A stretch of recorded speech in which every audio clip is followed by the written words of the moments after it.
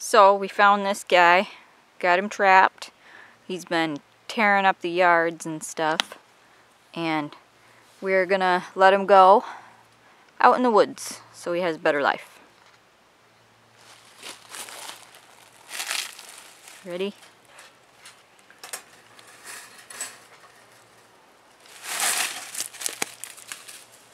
See you, little guy.